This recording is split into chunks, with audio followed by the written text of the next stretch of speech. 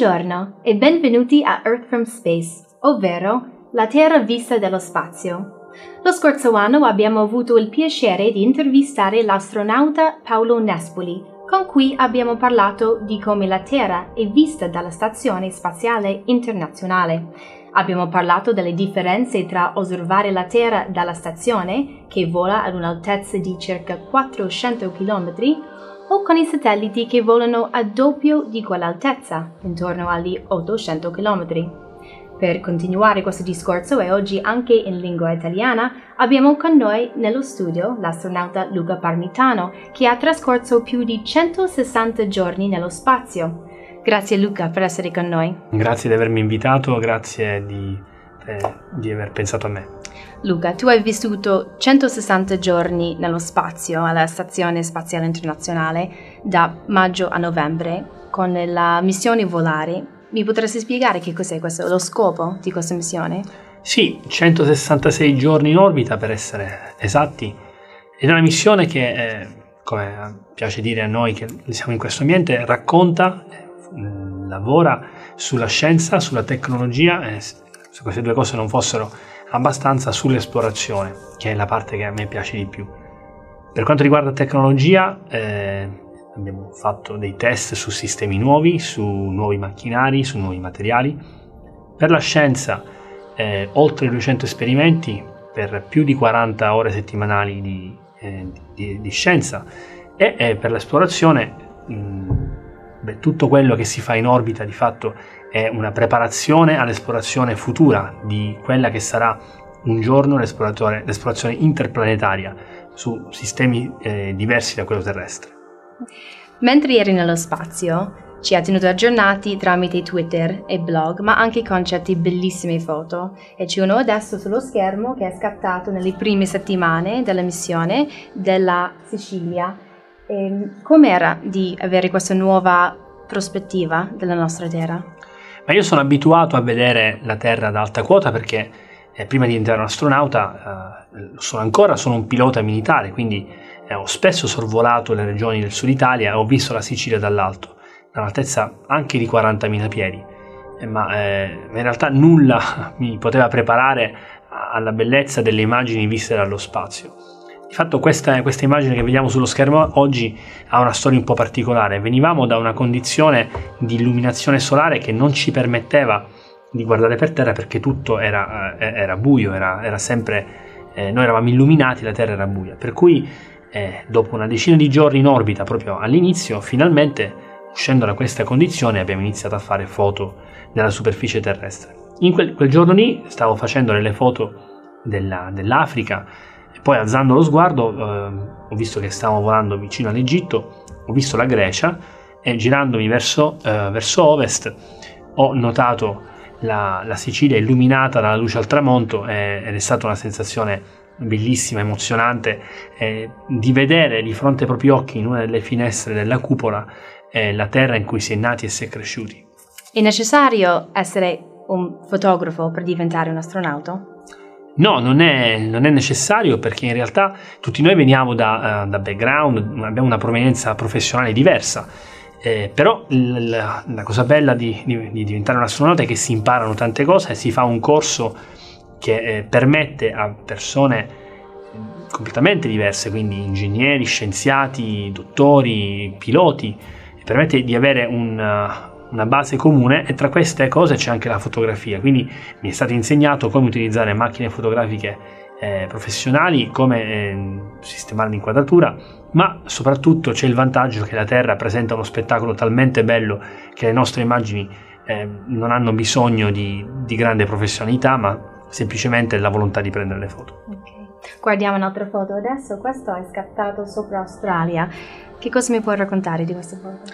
In questa, in questa, foto quello che vediamo al centro è uno dei monoliti più, più famosi al mondo, si chiama Uluru, è conosciuto anche come Ayers Rock nel deserto australiano ed è una foto che mi piace particolarmente perché l'ho, l'ho fortemente voluta.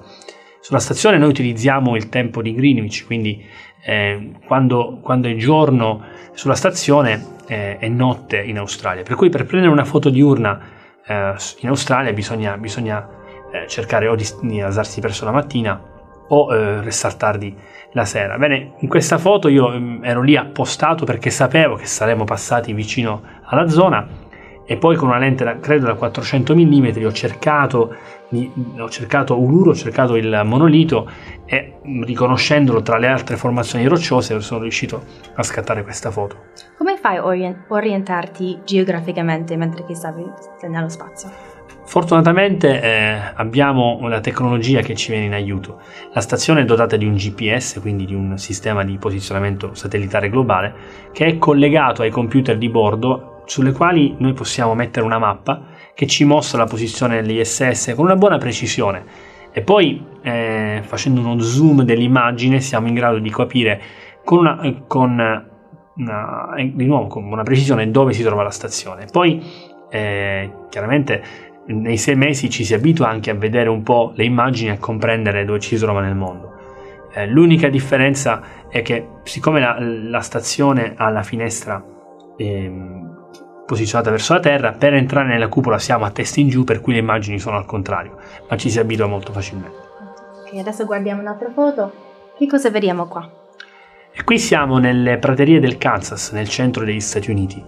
E la storia legata a questa immagine è che eh, mi era stato chiesto da, eh, da, molte persone di pubblicare foto non solo dell'Europa, del Mediterraneo, ma anche di altri posti. Quindi, eh, quasi come una sfida, ho voluto pubblicare questa foto che eh, potrebbe non, non, dare molta emozione se non fosse che a me ricorda un quadro di Mondrian con queste linee geometriche straordinarie, molto belle, molto ordinate e questa idea è piaciuta molto, da un colore particolare, una foto che potrebbe essere in apparenza un po' piatta, ma in realtà secondo me è molto bella. Mm, parlando di colore, questa infatti è una zona che a me mi piace personalmente di osservare, osservare con immagini satellite.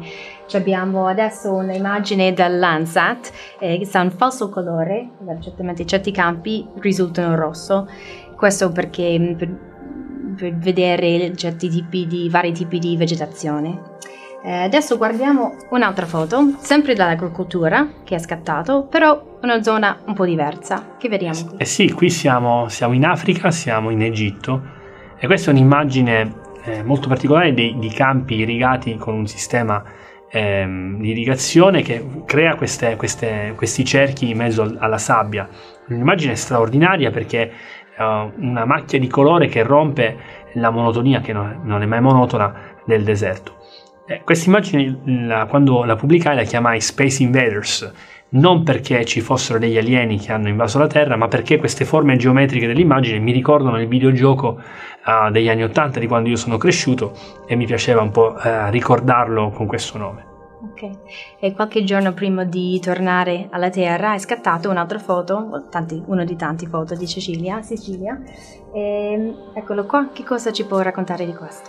Sì, ho scattato veramente tante foto della Sicilia, ma eh, si può immaginare anche perché, la mia terra. E questa foto è stata fatta eh, perché era uno degli ultimi passaggi, sapevo che era uno degli ultimi passaggi prima di rientrare. Siamo in tardo ottobre e qualche giorno prima era stata una, un'eruzione del, dell'Etna, si può ancora vedere qualcosa nell'immagine. Quando l'ho scattata l'ho pubblicata come un saluto, un saluto alla mia terra, un arrivederci alla stazione e un, una preparazione al mio rientro sul, sul nostro bellissimo pianeta. Adesso guardiamo una, sempre di, di Italia, di Sicilia. Ehm, abbiamo qua una foto di un satellite, un'immagine di satellite, insieme con un altro che si fa vedere il sulfur dioxide. Magari mi potresti aiutare con come si dice in italiano? Diossido di zolfo. Grazie, che questo viene certamente dai vulcani e questo ci aiuta di definire dove si trovano le ceneri, le, la cascata delle ceneri dei vulcani. Sì. Eh, queste sono foto importantissime di altissimo valore per chi come me è un pilota perché la sabbia dei vulcani ehm, la cenere vulcanica è estremamente pericolosa per i motori dei velivoli. Uh, tutte le volte che un vulcano eh, fa un'eruzione, lo sappiamo benissimo, la, la circolazione aerea viene limitata. Bene, queste foto permettono a noi piloti di evitare zone molto pericolose e di poter fare una, una, una navigazione aerea sicura. Okay. Di solito sul nostro programma facciamo vedere una, un'immagine di un satellite e io spiego che cosa si vede, ma oggi tocca a te.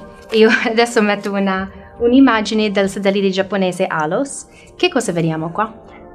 Questa è un'immagine ad altissima definizione della, della Sicilia, di nuovo, della, della, zona intorno a Catania che vediamo nella parte in basso a destra e dell'Etna, il vulcano, il, il gigante eh, della Sicilia, nella zona in alto, eh, in alto a destra.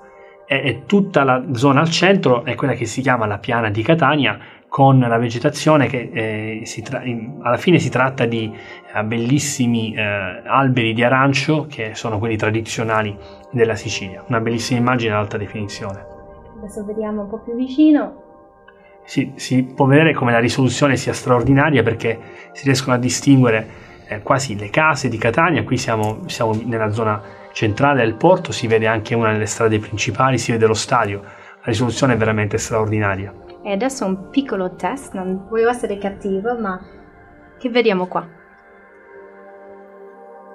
E qui siamo sempre in Sicilia, sempre a Catania, ma qui siamo nella provincia e quello, nel, quello nell'immagine è il, mio, il paese in cui sono nato. Si tratta di Paternò, una cittadina nella provincia di Catania nel quale, nel quale, sono nato, anche se non ci ho mai vissuto, comunque è il mio paese natale, per cui un, un, un piccolo pensiero di affetto comunque va sempre. Perfetto.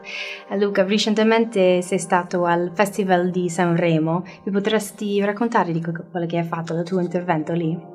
Certamente, il, l'idea dell'invito nasce dal fatto che il tema del Festival di Sanremo quest'anno era dedicato alla bellezza.